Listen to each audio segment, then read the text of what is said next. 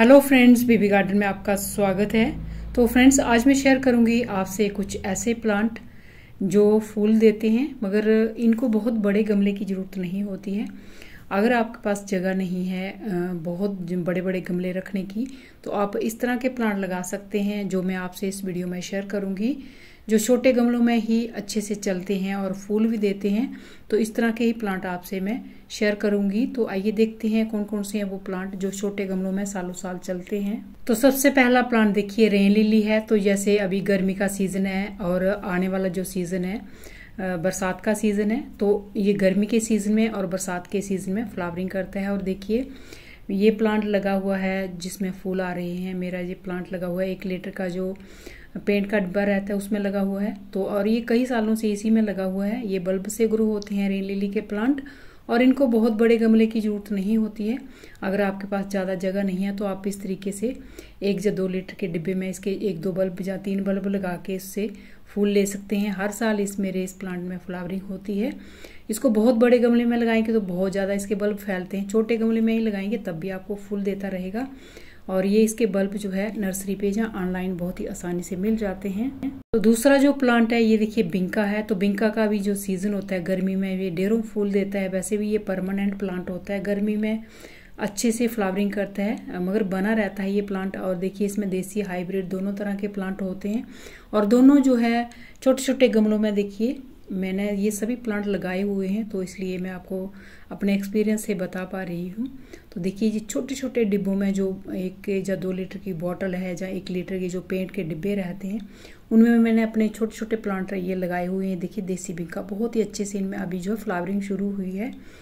तो बहुत ही अच्छे से ये फ्लावरिंग कर रहे हैं।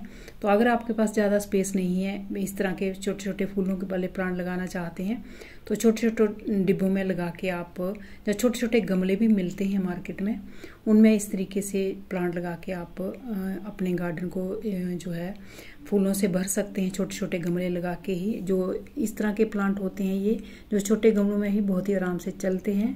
तो अगला देखिए, ये है फुटबॉल लिली तो देखिए फुटबॉल लिली मेरी जो प्लांट है, इसमें अभी फ्लावरिंग हो रही है। पहले तो ये बहुत ही छोटे से गमले में लगा हुआ है, जो चार इंच का जो नर्सरी पॉट होता है। तो जब इसमें फूल खिला है तो अभी मैंने इसको आठ इंच के जो प्लास्टिक पॉट होता है, उसमें लगा दिया है। तो एक दो बल्ब हो तो ये बहुत ही आराम से जो है, चार छः इंच के गमले में चलता है। तो इसको भी आप लगा सकते हैं। इस, ये भी बल्ब के थ्रू ग्रो होता है, परमानेंट प्लांट होता है, ये भी। फ्लावरिंग करता है गर्मियों में, मगर पूरा साल बना भी रहता है ये। तो देखिए, ये जूफोरविया मिली है तो जूफोरविया मिली के प्लांट को भी कोई बहुत बड़े गमले की ज़रूरत नहीं होती है। छोटे गमले में भी लगाएँगे तो तो आपको ये अच्छे से फ्लावरिंग देता रहेगा। और देखिए, मेरा जो प्लांट लगा हुआ है। एक छोटा सा जो बॉटल का से बना हुआ प्लांटर होता है, पाँच लीटर की बॉटल से बड़ा, बना ये प्लांटर है तो उसमें देखिए ये लगाया हुआ है मैंने प्लांट तो कितने अच्छे से इसमें फूल दे रहा है। और ये भी एक परमानेंट प्लांट होता है पूरा साल फूल देता है और बना भी रहता है, इसको ज़्यादा पानी की रिक्वायरमेंट नहीं रहती है। अच्छे से जहाँ आपके गार्डन में धूप आती हो, वहाँ पे इसको रखिए, थोड़ा सा जो बारिश के पानी से इसको बचाइए, जो बरसात में जब बारिशें होती रहती हैं, तब इसको थोड़ा सा शेडी शेड में रखें जहाँ इसको बहुत ज़्यादा पानी बरसात का ना मिले। तो देखिए, इस तरीके से ये छोटे छोटे गमलों में बहुत आराम से इसको आप लगा सकते हैं। मेरे देखिए, ये छोटे छोटे प्लांट लगे हुए हैं छोटे छोटे गमलों में ही और अच्छे से ये फूल भी दे रहे हैं। तो देखिए, ये बोगनविलिया का प्लांट है तो बोगनविलिया का भी प्लांट जो है छोटे गमलों में बहुत ही आराम से चलता है और मेरे कुछ जो प्लांट है, मैंने बड़े बड़े गमलों में भी लगाए हुए हैं और देखिए, ये वाला मेरा जो प्लांट है, ये एक चार इंच का जो नर्सरी पॉट होता है, उसी में ये लगा हुआ है और देखिए कितने अच्छे से इसमें फूल आ रहे हैं। तो बोगनविलिया का जो प्लांट है, तभी अच्छे से इसमें फूल आते हैं, जब इसके जो रूट्स हैं, वो बॉन्ड हो जाएँ, तभी ये प्लांट जो है फ्लावरिंग करता है। अगर आप नर्सरी से इसका प्लांट लाते हैं तो इसको बहुत बड़े गमले में ना लगा के, छोटे गमले में ही लगाएँ तो आपको अच्छे से फ्लावरिंग मिलेगी। उसके बाद देखिए कोलिस का प्लांट अगर आप नर्सरी से लाते हैं तो इसको भी बहुत बड़े गमले की रिक्वायरमेंट नहीं रहती है। ये भी छोटे गमलों में बहुत आराम से चलता है। इसको आप चार इंच के छः इंच के या ज़्यादा से ज़्यादा या आठ इंच के गमले में लगाइए। उससे बहुत बड़, ज़्यादा बड़े गमले की इसको ज़रूरत नहीं रहती है।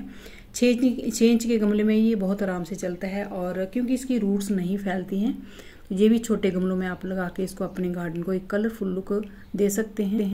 तो अगला प्लांट देखिए गोमफ्रीना है तो गोमफ्रीना भी एक बहुत ही अच्छा प्लांट है जो पूरा साल फूल देता है, ज़्यादा फूल समर में खिलते हैं इसमें। और इसको भी बहुत बड़े गमले की ज़रूरत नहीं होती है। बड़े गमले में लगाएँगे तो बहुत बड़ा झाड़ सा भी बन जाता है ये, मगर आपके पास अगर ज़्यादा स्पेस नहीं है तो छोटे गमलों में लगा के आप इससे अच्छे से फ्लावरिंग ले सकते हैं। और देखिए, चार इंच का जो नर्सरी पॉट होता है, उसमें मैंने लगाए हुए हैं दो प्लांट और देखिए इनमें दोनों में अच्छे से फ्लावरिंग हो रही है।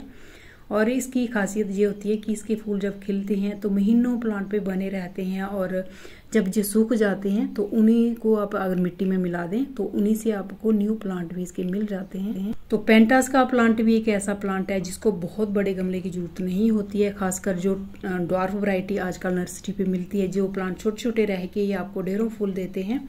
तो उसको भी आप अगर आप नर्सरी से लाते हैं तो छः इंच के गमले में, ज़्यादा से ज़्यादा आठ इंच के गमले में लगाइए, आपको ढेरों फूल दे, देगा और इसमें आपको बहुत सारे कलर भी मिलते हैं।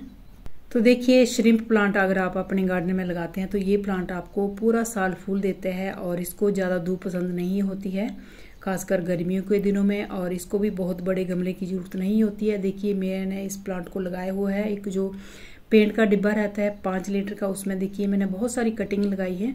तो उसी में, इसी से ये प्लांट जो है फ्लावरिंग कर रहा है। तो ये प्लांट पूरा साल फूल देता है और अच्छे से ये छोटे गमलों में चल जाता है। तो अडेनियम देखिए, अडेनियम को भी कोई बहुत बड़े गमले की ज़रूरत नहीं होती है। और देखिए, ये भी वो मेरा प्लांट आप देख रहे हैं। ये मैंने सीड से ग्रो किया था पिछले साल और अभी ये प्लांट एक साल का होने वाला है। और ये भी जो है कई सालों तक छोटे गमलों में ही चल जाते हैं और फ्लावरिंग भी करते हैं।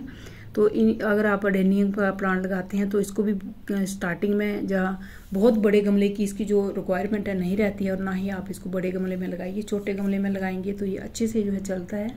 उसके बाद देखिए, ये है पर्पल हर्ट तो पर्पल हर्ट भी जो है फूल देता है। गर्मी के दिनों में बना रहता है पूरा साल अपने कलरफुल लीव्स के साथ।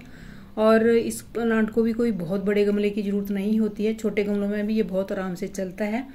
और अगर आप बड़े गमले में भी लगाएँगे तो ये बहुत ज़्यादा फैल जाता है, मगर छोटे गमलों में भी ये बहुत आराम से चलता है। इसको भी आप छोटे गमले में लगा के अपने गार्डन को एक कलरफुल प्लांट दे सकते हैं। तो देखिए हेज प्लांट है और इसमें फूल भी खिलते हैं, मगर फूल इतने ज़्यादा खूबसूरत इसके नहीं होते हैं जितने जो पत्ते इसके कलरफुल होते हैं।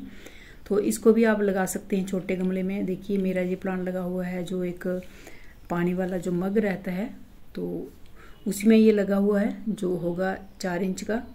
तो बहुत ही अच्छे से ये चल रहा है इसमें। इसको अगर जितना आप बुशी लुक देना चाहते हैं तो इसकी पिंचिंग प्रोनिंग करते रहिए तो ये उतने से अच्छे से इसकी जो बुशी लुक है, वो बन के आती है। और छोटे गमलों में हैंगिंग बास्केट में बहुत ही अच्छे से ये चलते हैं और पूरा साल बना रहता है।